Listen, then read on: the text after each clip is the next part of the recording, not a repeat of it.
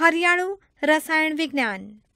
રાસાયણિક ઉદ્યોગોના વિકાસને કારણે માનવ ઉપયોગી પદાર્થો જેવા કે ખાતરો, કીટનાશકો, ઔષધો, પ્લાસ્ટિક અને સૌંદર્ય પ્રસાધનોનું ઉત્પાદન સરળ બન્યું છે. પરંતુ આ ઉદ્યોગોમાંથી નીકળતો કચરો માનવ સહિતની જીવસૃષ્ટિ માટે હાનિકારક હોય છે. તેનો નિકાલ હવા, પાણી કે જમીનમાં કરવામાં આવે છે. તે પર્યાવરણને પ્રદૂષિત કરે છે. તેથી હાલમાં વૈજ્ઞાનિકો રાસાયણિક પદાર્થોના સંશ્લેષણ માટેની એવી પદ્ધતિઓ વિકસાવવાનો પ્રયત્ન કરી રહ્યા છે કે જે પર્યાવરણને અનુકૂળ, પર્યાવરણીય મિત્ર હોય. આ પ્રયત્નોથી જે રસાયણ વિજ્ઞાનનો વિકાસ થઈ રહ્યો છે, તેને હરિયાળું રસાયણ વિજ્ઞાન તરીકે ઓળખવામાં આવે છે. ટૂંકમાં, હરિયાળું રસાયણ વિજ્ઞાન એટલે પર્યાવરણીય હિતકારી રાસાયણિક સંશ્લેષણ માટેનું વિજ્ઞાન.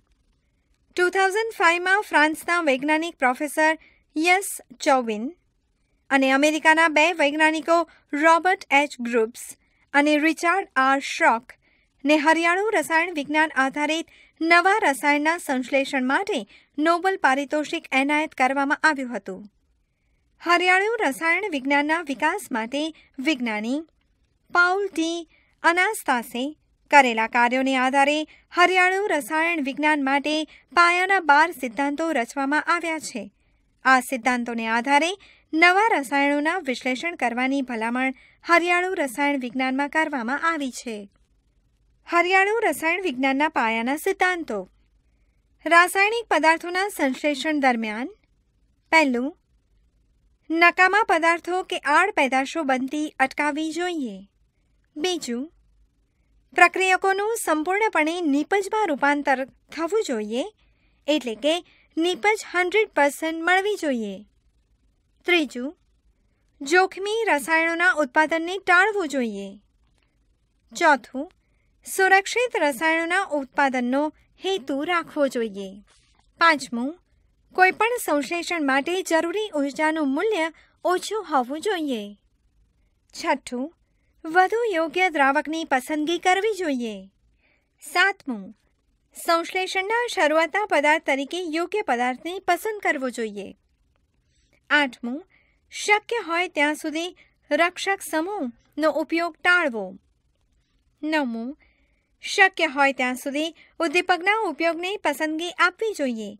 હાલમાં કલા ઉદ્દીપકોનો ઉપયોગ થાય છે. દસમું, સંશ્લેષિત નિપજ જૈવ વિઘટનીય હોવી જોઈએ. અગિયાર, ઉત્પાદન માટેના પ્લાન્ટની રચના એવી હોવી જોઈએ કે તેના ઉપયોગ વખતે અકસ્માત થવાની શક્યતાઓ દૂર કરી શકાય. બારમું, જોખમી સંયોજનોના નિયંત્રણ માટે વૈશ્લેષિક તકનીકોને બળવાન બનાવવી જોઈએ. રોજિંદા જીવનમાં હરિયાળું રસાયણ વિજ્ઞાન. હરિયાળું રસાયણ વિજ્ઞાનના સિદ્ધાંતોનો ઉપયોગ રોજિંદા જીવનમાં થતો જોવા મળ્યો છે.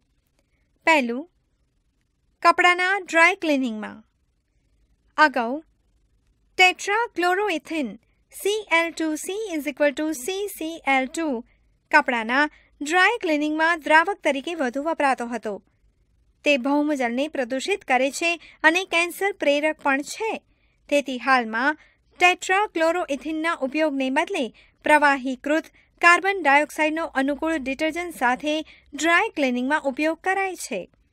હાલના સમયમાં હાઇડ્રોજન પેરોક્સાઇડનો ઉપયોગ કપડાં ધોવામાં બ્લીચિંગ એજન્ટ એટલે કે વિરંજનકર્તા તરીકે વધ્યો છે. તે પાણીના ઓછા વપરાશથી પણ સારું પરિણામ આપે છે.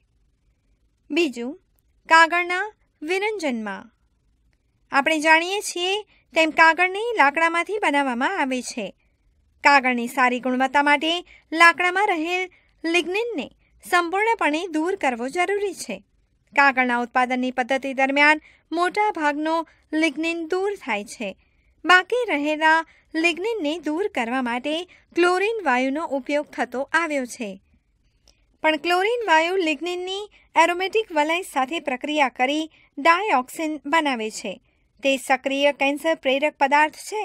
તેથી કાગળના વિરંજન માટે ક્લોરીન વાયુના વિકલ્પ રૂપે હાલમાં હાઇડ્રોજન પેરોક્સાઇડનો યોગ્ય ઉદ્દીપકની હાજરીમાં ઉપયોગ થઈ રહ્યો છે. આ હરિયાળું રસાયણ વિજ્ઞાનના વિકાસની આભારી છે.